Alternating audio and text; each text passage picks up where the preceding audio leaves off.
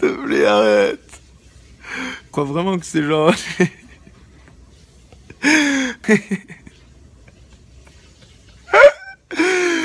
Maman, j'ai fait caca dans ma culotte.